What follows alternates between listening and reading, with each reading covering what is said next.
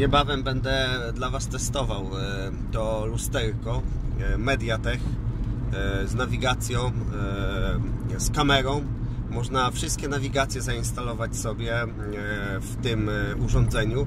Ja akurat teraz tutaj odpaliłem nawigację, znaną nawigację i najlepszą nawigację na Androida Sygic a więc naprawdę, jeżeli miałbym teraz już dać ocenę, aczkolwiek teraz staram się tak powiedzmy, żeby testować sobie samemu. No nie mogę nic powiedzieć o produkcie, którego nie znam tak naprawdę. To jest produkt, który ma e, parę zastosowań, a więc pierwsze to jest dashcam, tu jest zamontowana też kamera przednia, kamera tylna, której jeszcze nie testowałem.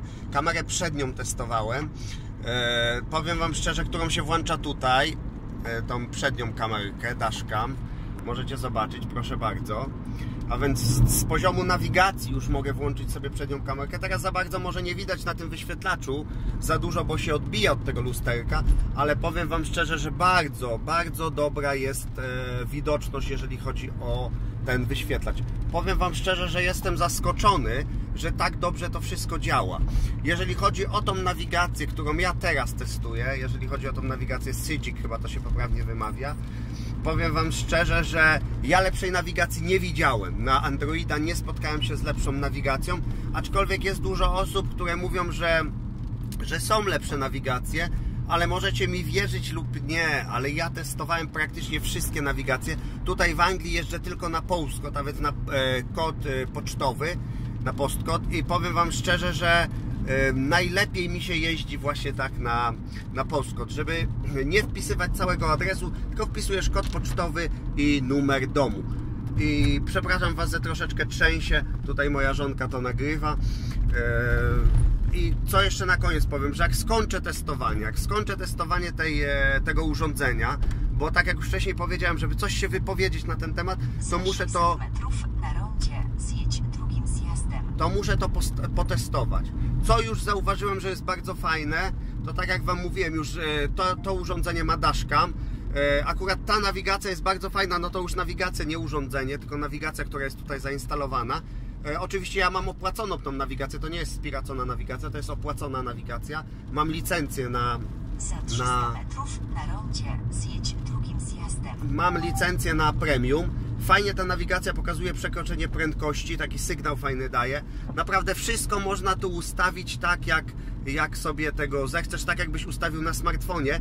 I bardzo fajne jest to, że jak wyłączysz, e, nie jak wyłączysz silnik, jak, przesta- jak nie kontynuujesz jazdy, a więc jak stoisz samochodem, jak auto się nie porusza, to wyłącza się to urządzenie. Więc to też jest bardzo, bardzo cwanie zrobione naprawdę jestem. E, myślałem, że to jest tylko taki gadżet, taki gadżet, który będzie po prostu taki niezbyt e, użyteczny, ale powiem Wam, że już używam to chyba 2 czy 3 dni i naprawdę jest to niesamowite.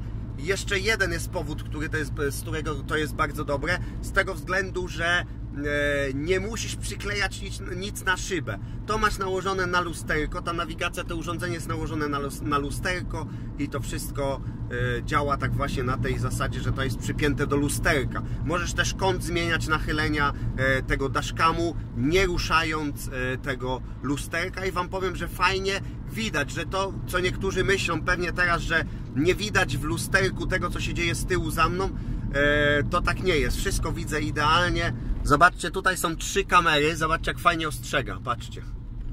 Fajnie mryga, ostrzega i następna zaraz będzie. Już też zaczyna mrygać, żeby nie przekraczać. Tu już jest następna po lewo, po lewej. Też ostrzega. Bardzo fajnie. 30 tutaj jest, 30 mil. Yy, zaraz zobaczycie, mój ustawiło 50 na godzinę, ale tu jest 30 mil akurat w tym miejscu, gdzie jestem. Zaraz będzie mrygał jeszcze raz, bo jeszcze jedna będzie kamerka i to jest właśnie bardzo użyteczne i ten sygnał jest naprawdę fajny. E, akurat jak mówię tutaj już o samej e, nawigacji, samym programie. E, to już urządzenie do tego nie za dużo, nie za dużo ma. Ale to mi się bardzo podoba, że jeżeli włączysz e, samochód i zaczynasz jechać, to urządzenie się automatycznie załączy. A, urządzenie się automatycznie załącza i możesz e, wtedy, wtedy jesteś ostrzegany. No nie musisz pamiętać, żeby te urządzenie włączyć za każdym e, razem. Widzicie, 400 mryga tutaj znowu, zobaczcie. Jest kamera i mryga. Bardzo fajnie pokazuje, że jest kamera.